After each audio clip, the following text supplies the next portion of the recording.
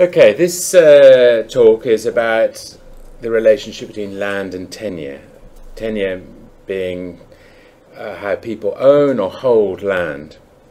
And we're going to focus in particularly on the processes around which people gain access to land and hold on to it, because I think that's essential to thinking about pastoral systems. And we're going to be thinking through that about the type of institutions um, the sort of rules, regulations, rules of the game more broadly uh, that affect how that happens in pastoral settings. So the debate about land tenure is a long and contentious one.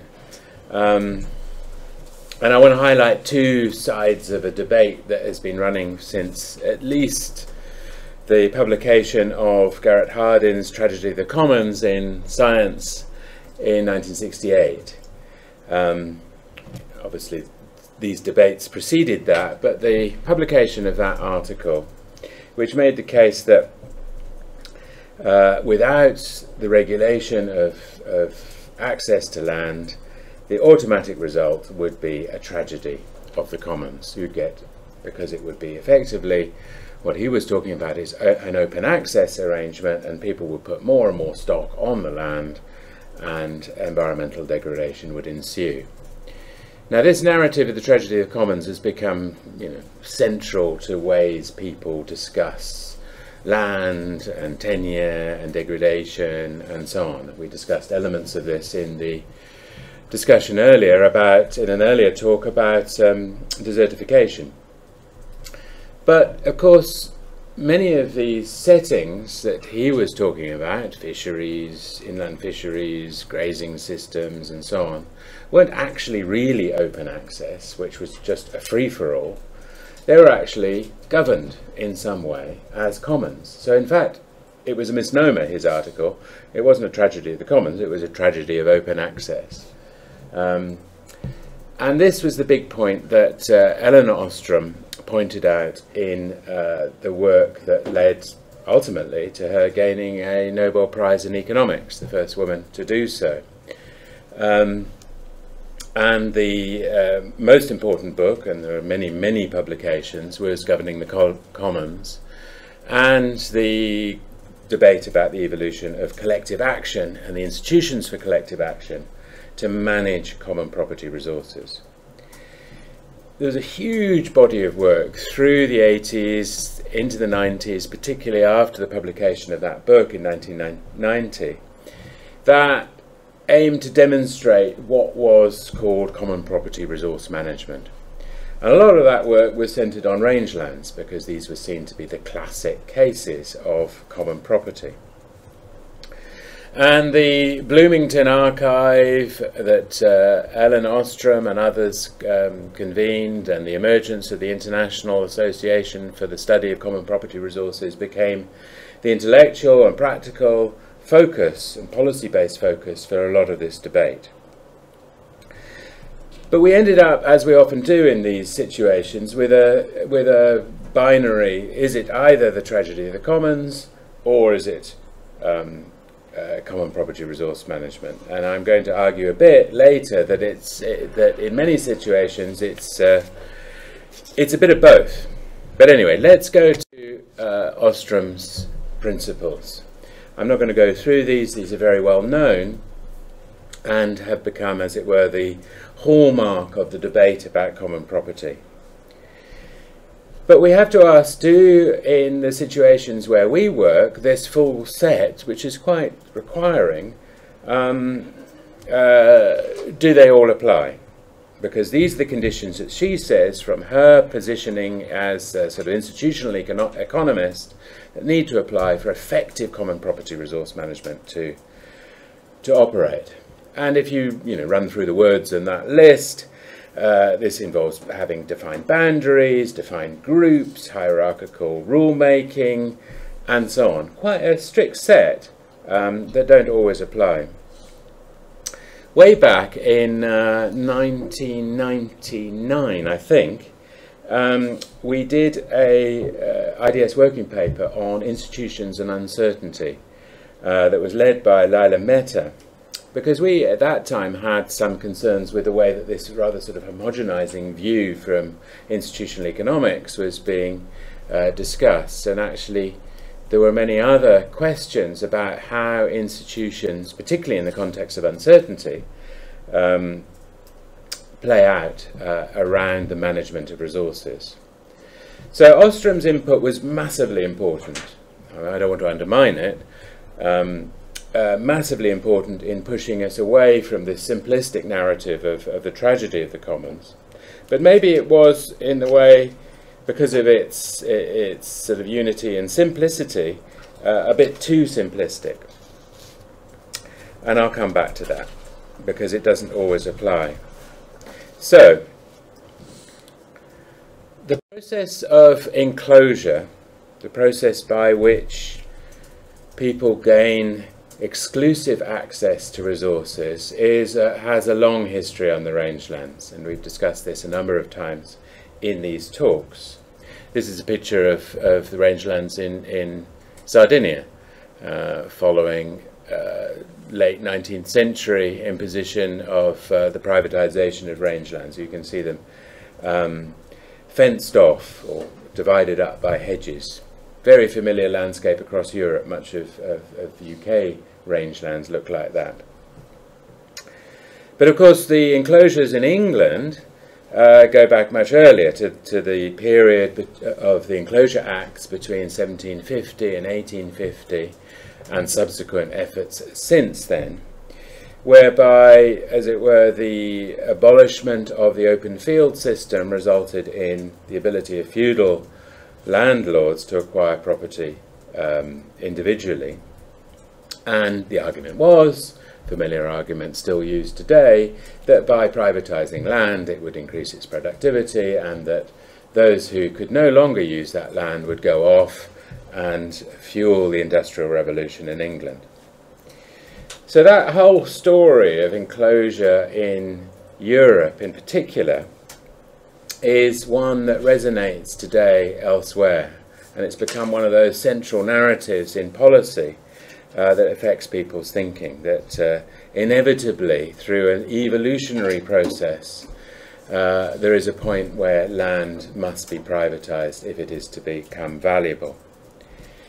Um, again, uh, referring to Karl Marx, he talked about land grabbing.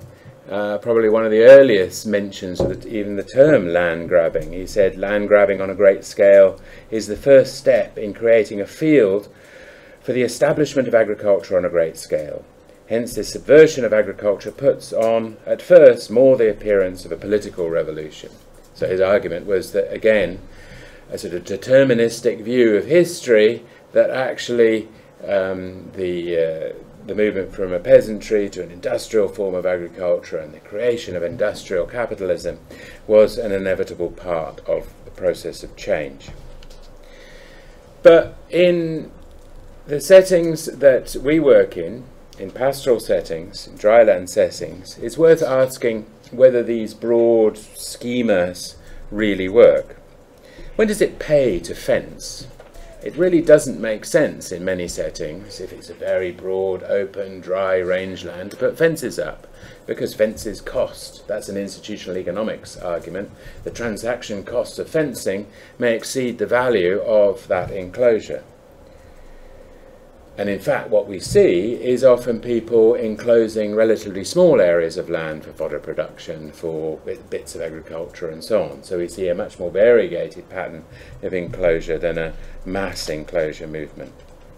But in the end, it's not just about transactional economics and institutional economics, it's about basically political economy.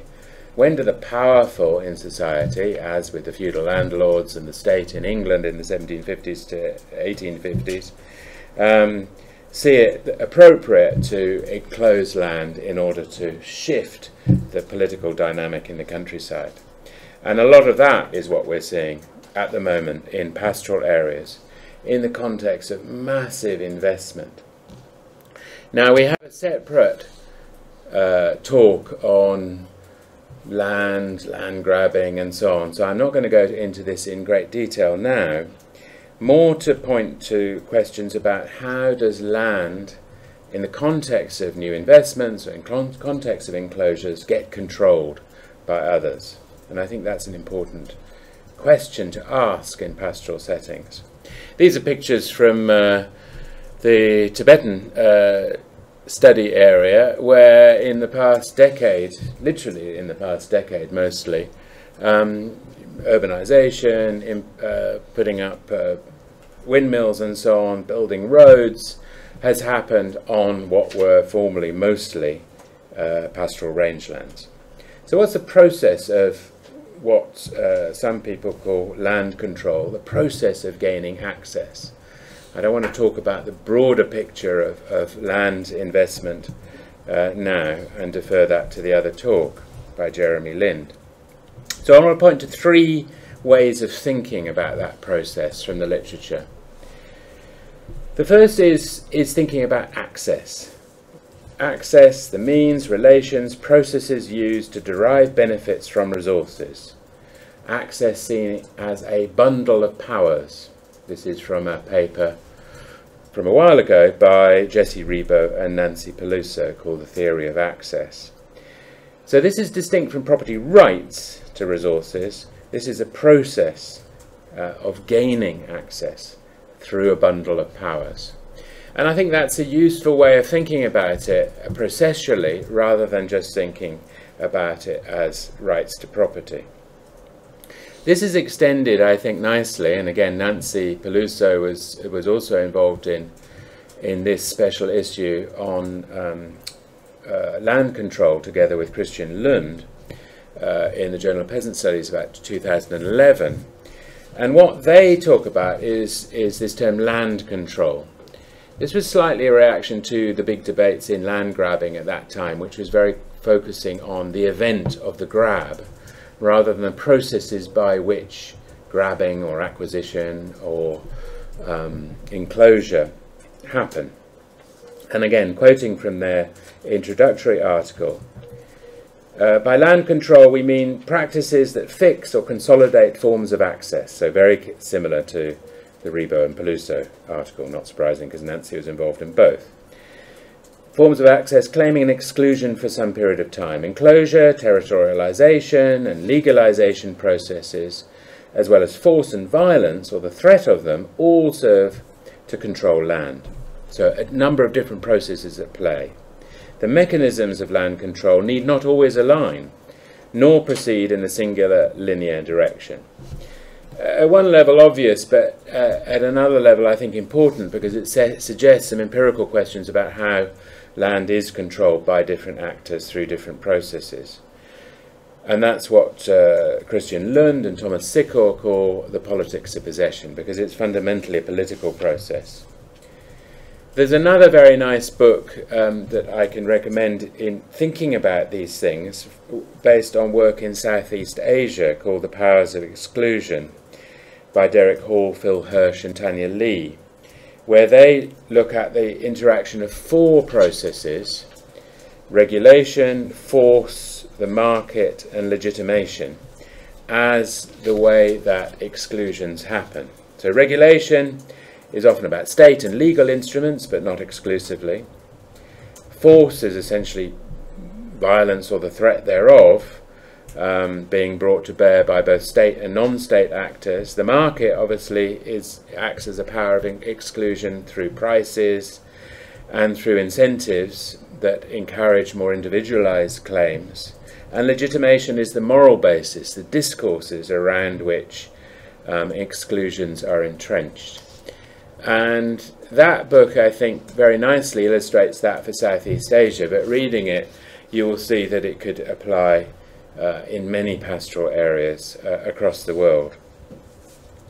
So these processes of exclusion, processes of enclosure, the processes of gaining access to land uh, that once was uh, common uh, and making it more privatized is a phenomenon we see uh, generally, and it's a phenomenon in the drylands just as much as elsewhere.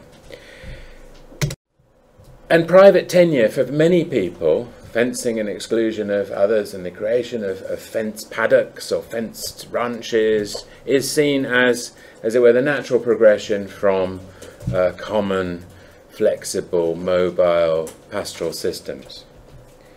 So you see lots and lots of um, reports out there, often drawing on the likes of Hernando de Soto, who's been this sort of um, disciple of privatization, if you like, coming out of work from Peru in urban Peru, um, who says that you know, unless it's unless land is is owned and privatized, it's dead capital, it can't be used which I think is just a nonsense argument, but it's a very powerful argument and has been bought by many who see privatization as more an ideological move than a one about uh, e simply economics.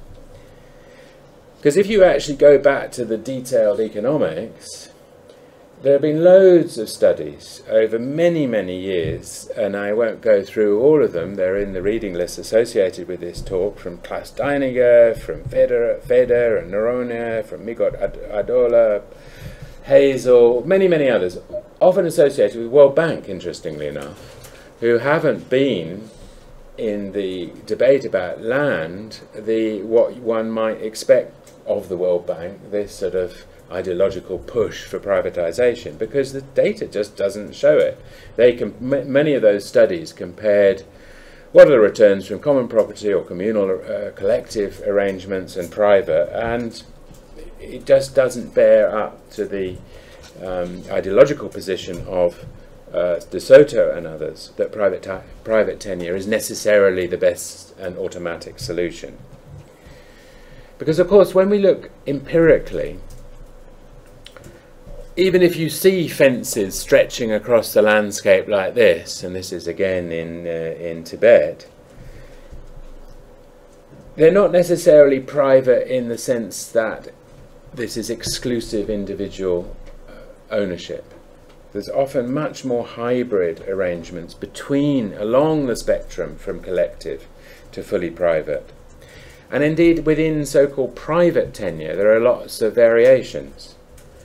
So they can be legislated between freehold, leasehold, permit arrangements with different forms of authority given to people uh, as the owner. Or there can be so called vernacular forms of tenure that give some private rights but within a more collective arrangement. So the simple notion of private tenure is not so simple when you look at it in detail. And when you do look at it in detail, the argument that private tenure always is the best solution for investment uh, and bringing um, increases in productivity, that doesn't stand up either. So these are the big debates that have been happening over the last 20 odd years um, between private, communal, and various other versions, and the question of what's the process of people gaining access. But I think for um, thinking about um, systems in pastoral areas, we have to be a little bit more sophisticated because these classic uh, debates, again, as ever, have been played out largely in ag agrarian settings or indeed in urban settings, where the distinctions between private and communal may be a, little bit more um, obvious. These again some pictures from uh, Tibetan landscapes. And it's in these settings that uh, Pastre's country lead for China, Gongbu, has done some fantastic work, I think, um, and a really, really good paper in Ecology and Society recently with others on Tibetan pastoral systems and questions of tenure. And what I, he argues, and it's not an, an, argument that's new to pastoral studies, but I think it's very well done here, is that pastoralists accommodated different rangeland reforms imposed by the Chinese state that attempted to privatize through a variety of hybridized arrangements. And that actually, when pastoralists negotiated those arrangements for some level of collectivity within an overall framework that pushed privatized rangeland, that it was those that allowed higher productivity. And this was not surprisingly, because this allowed more flexibility, the more flexible use of rangelands, and so on and so forth. So although you see fences, in both those pictures there are, This isn't classic private rangeland or even collectively privatized rangeland. This is much more flexible than it looks. So this relates to the, a much wider debate in, in discussions of land and tenure around fuzzy boundaries, overlapping institutions, hybrid arrangements around property, all of which challenge the simplistic notion of privatization, but they also, interestingly, challenge Ostrom's eight principles, because the the neat and simpli neat simplicity of those principles in empirical terms doesn't necessarily always apply. And there's, I think, been some really interesting work done on rangelands in the last few years by uh, Mark Moritz and colleagues, where they've argued through comparative work um, on rangelands initially in West Africa, but then globally and in relation to other common property or notionally common property systems. They've encountered this dilemma that many of us have felt but have thought about it more deeply, that actually in many of these settings, in pastoral settings, there is effectively a condition of, op- uh, of, of, open access, yet the tragedy of the commons that Hardin predicted doesn't happen. So these aren't carefully managed common property resource systems a la Ostrom, but nor does the outcome that Hardin predicts from his economic model happen. So what's going on?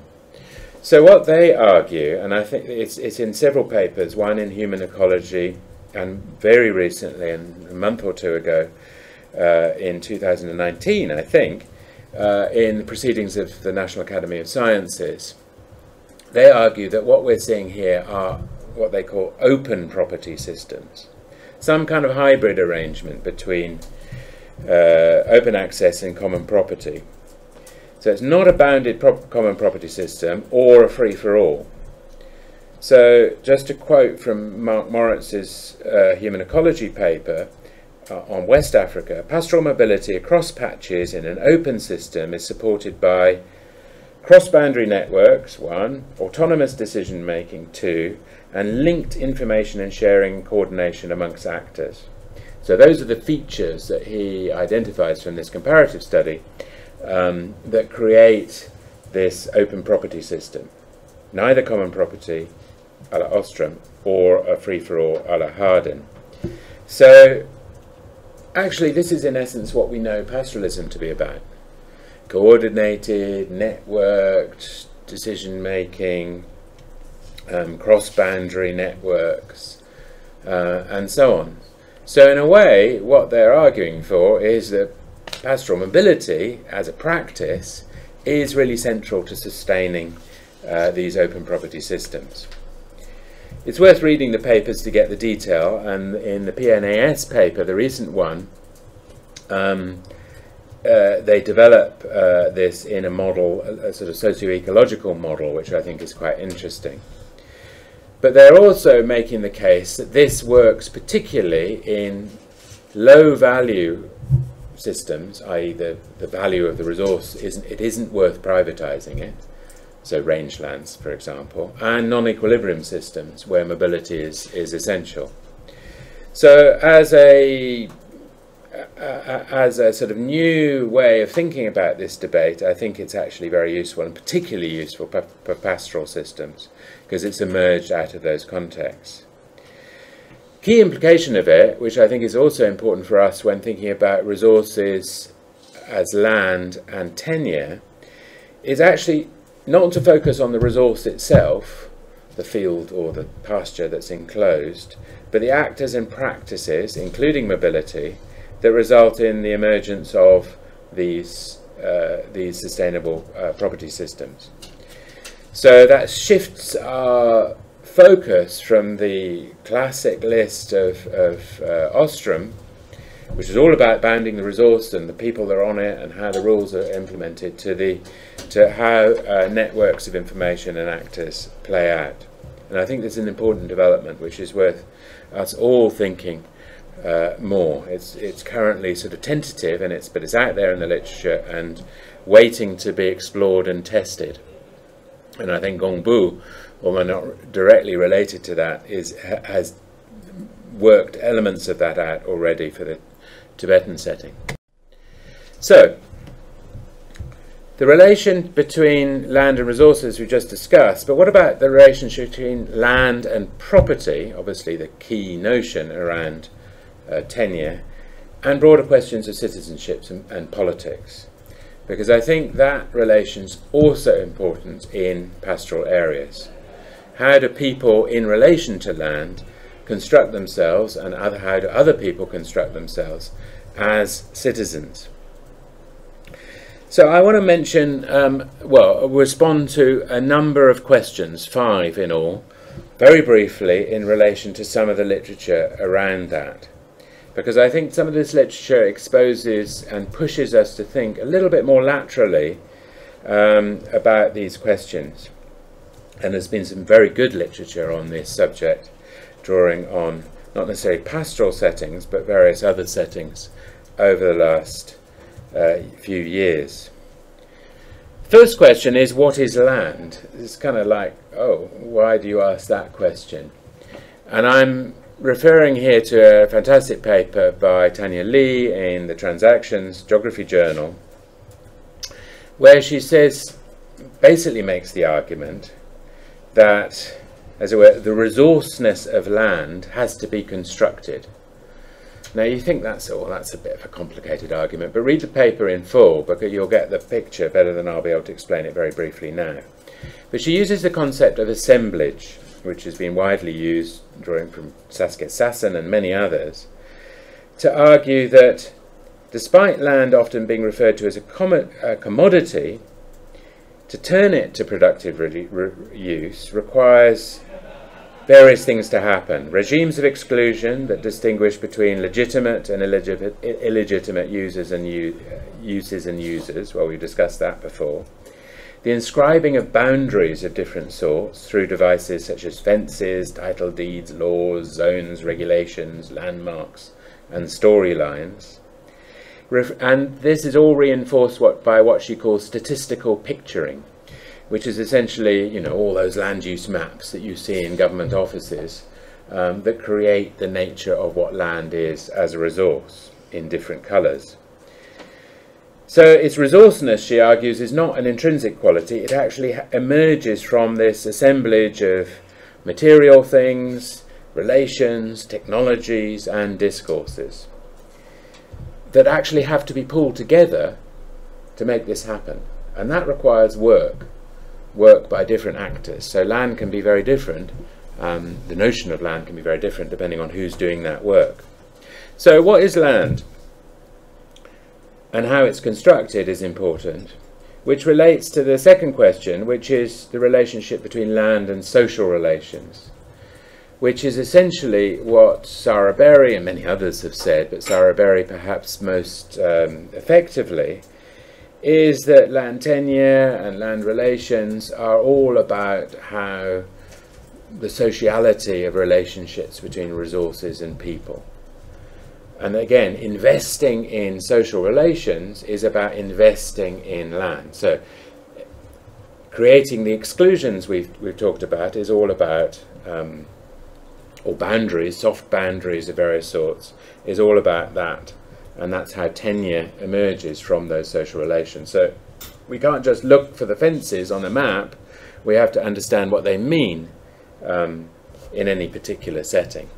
These three pictures are from our three core Pastres study sites in Tibet, Isiolo and uh, Sardinia respectively, and you can see the landscape's quite different, but they're all constructed through this process of social relations. And all of those fences, all of those, where those animals are, those houses are, um, are not necessarily uh, just natural, they're created by social processes and political processes. And this is the argument of legal anthropology, for example, Sally Falk Moore and others are arguing that this always these hybrid institutional forms emerge in plural legal systems. And the type of places we work are always plural legal systems involving state legalities, local uh, forms of, of legalities and institutions, and so on. The third question is about land, class, and gender. that's actually the theme of the previous talk, so I won't um, reiterate all of that. But uh, Pauline Peters, in particular, has challenged to some, to, uh, to some extent Sara Berry, um, saying, well, it's not just about negotiations and social relations and all of this um, intimate anthropological stuff. I mean, they're both actually anthropologists, I think. Actually, no, Sara's a historian. Um, it's actually also about class. Structural relations affect that, how that happens. So let's not forget uh, these wider structural features that affect how land and land relations are constructed. Fourth question is about the relationship between property and authority. A lot of these processes are about creating the notion of property. Property as, and this is to quote uh, Thomas Sikor and Christian Lund, prop property as a, uh, the process, process of seeking authorizations for property claims also has the effect of granting authority to the authorizing politico-legal institution. In other words, the state or the local leadership or the monastery or whoever we're talking about, their authority is created in tandem with the process of claiming um, and them giving authorization. So it's a social process and what they call the politics of possession. So again, rather than it just being imposed from outside, it's always a negotiated process. So I think that's an important one, the relationship between property and authority, because sometimes we think, oh, well, property, that's just the title deed. Well, no, it's actually much more than that. There's a lot more that goes into creating something that can be called property, mine, rather than yours. So, struggles over natural resources, land, as in these pictures, are often about everyday state formation.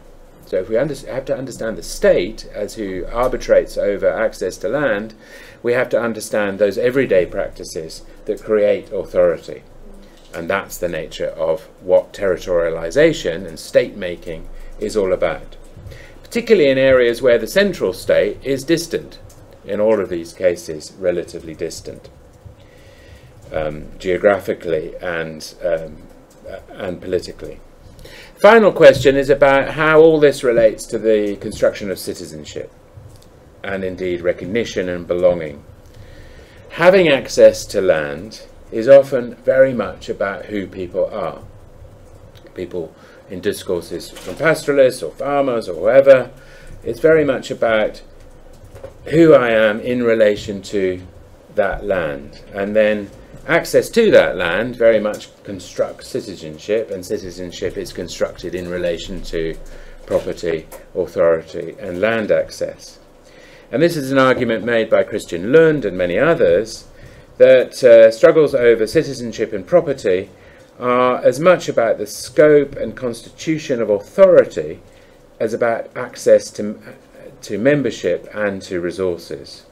So it's about constitutions of authority. And constitutions of authority is about citizenship, the relationship between people in a society and sovereign authorities, whether that's the state or local leaderships or whatever. So it's not necessarily about national citizenship only, but it's also about um, uh, about local forms of citizenship. So the nature of the politics of citizenship is very, very different, for example, and the nature uh, uh, of state authority, for example, or other forms of authority, between individualized private tenure and more communal and commoning tenure. Just think about it. The relationships of access and collective arrangements make different citizens. Um, in, in the UK, the whole privatisation of council housing was the central core of Mrs Thatcher's policy of creating a new form of citizenship in Britain. The parallels are obvious. Okay, so those are, that's a big run through of vast literature. Um, so where does this all end up in thinking about policy? We thought about the debate between common property and open access. We thought about the debates about what private property means. We thought about debates about land control and how people gain access. And we thought here about issues of the relationship between property and land and resources and citizenship and, and state making. Quite a complex literature coming out of political science and anthropology and law and so on. Where does it end up in policy? Well, in rangelands and pastoral policy debates, there's been a lot of discussion in the last decade, certainly, about what so-called land governance and, and rangeland governance uh, means. And here are just some examples of millions of different articles and policy briefings and papers and conferences that have been on this very topic. Now, it's a really important topic, no question. We've talked about the policy implications of the pressures of investment and enclosure and exclusion in rangelands. Um, and the process led by the FAO and in, unusually actually involving civil society to produce the so-called voluntary guidelines uh, to give them their full title, the Voluntary Guidelines on the Responsible Governance of Tenure of Land, Fisheries and Forests in the Context of National Food Security, can only be the UN that gives a title to something as complicated as that, um, is, uh, has been a very important effort. And there have been discussions within the creation of the voluntary guidelines around land tenure uh, involving pastoralists. And whether that's the International Land Coalition, various donors, NGOs, and some and others, you just have to Google land governance and pastoralism to find dozens and dozens of different initiatives. Um, there have been some quite important moves in this regard. A lot of these moves have been in and around so-called community-based land registration. So the idea that to avoid uh, capture of land, uh, by external actors, communities should register their land, i.e. create boundaries uh, that can be visible and negotiated with the state in order to protect their land. And there are millions of different initiatives of different sorts uh, that show that. And the argument is that that improves security, makes pastoral lands more visible, um, and allows people to protect that land and potentially increase productivity and attract investment and so on. Now, it's an ongoing debate as to whether that approach, which has been widely adopted and advocated, is necessarily the most appropriate approach because this is effectively a, a, move to collective privatization and it's, a, it's embedded in that discourse that we discussed before. How do you do collective uh, collective approaches to uh, land registration in hybrid systems? Big question. Um, not obvious in my mind, and I think some of the literature out there, the more nuanced and more particular literature, could challenge some of the assumptions behind some of these initiatives, which again is why ongoing research into trying to understand the, the real nuanced, particular nature of how territories are established, what's the process of, of enclosure, how this is negotiated within hybrid open tenure systems, uh, remains a really important uh, debate. So, uh, my last slide, a picture again of Tibetan rangelands with a huge infrastructural development heading to Europe through the Belt and Road, Road Initiative or Africa, I don't know. Um, uh, dividing rangelands, creating infrastructure, you know, big questions of, of tenure questions going on there. You can see the fences, you can see the road. But in my view, I think a lot of the most recent literature, rooted in very detailed empirical studies from very different parts of the world, uh, focus, usefully focus in what, on what one might call the politics of land control, focusing on hybrid institutions, open property systems, complex institutional responses, which in the face of uncertainty, whether that's environmental, social, market, um, haven't really got into the debate on land governance yet Perhaps it's too complicated, I don't know. So, despite the land governance debate unfolding in lots of very well meaning ways and being applied to pastoral areas and pastoral land, land, rights, I think the implications of this new thinking, or not so new thinking now, um, has yet to find its way in. Uh, and I think we need to think, particularly when we're thinking about uncertainty, central to the Pastres project, uh, about fluid, not fixed span, uh, fixed arrangements, um, fuzzy overlapping systems rather than bounded systems, and uncertainty rather than stability assumptions often embedded in conventional governance arrangements. Which, of course, is why I think the work of the Pastres project, thinking of rethinking pastoral land governance under uncertainty, may uh, throw up some important policy questions uh, that move us forward for pastoral settings. So I will conclude there.